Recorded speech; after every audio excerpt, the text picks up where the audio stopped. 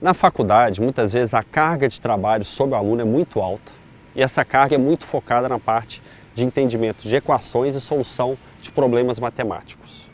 E essa carga ela deveria ser focada no entendimento físico e na aplicação desse conhecimento na indústria aeronáutica.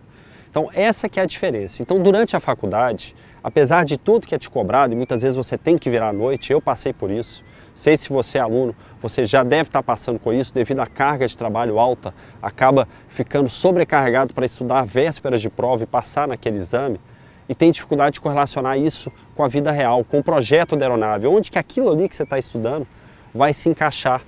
no mercado de trabalho, no mercado da aviação. Então, durante a faculdade eu passei por essa dificuldade e o que eu teria feito diferente seria ter me aproximado mais do mercado de aviação, ter entendido quais são as aeronaves, para que elas servem, quais são as características de projeto que deveriam ter sido aplicadas,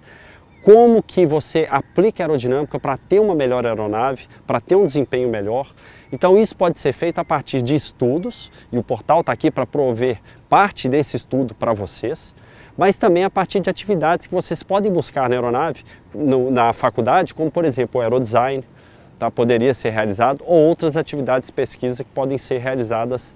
na faculdade. E também tentem sempre estar próximos, visitar o campo, o mercado da aviação. Tentar visitar um aeroporto, tentar ver a operação de aeronaves, tentar ir numa empresa de manutenção, ter mais contato com as aeronaves e acompanhar a indústria, ler notícias das indústrias, entender o que está acontecendo, olhar para aquelas aeronaves e diferenciar qual aeronave é qual tipo e por que, que cada uma tem uma solução aerodinâmica diferente. Dessa maneira, você vai conseguir entender aquilo que está sendo passado, com uma visão mais aplicada e prática e que realmente é utilizada na indústria aeronáutica.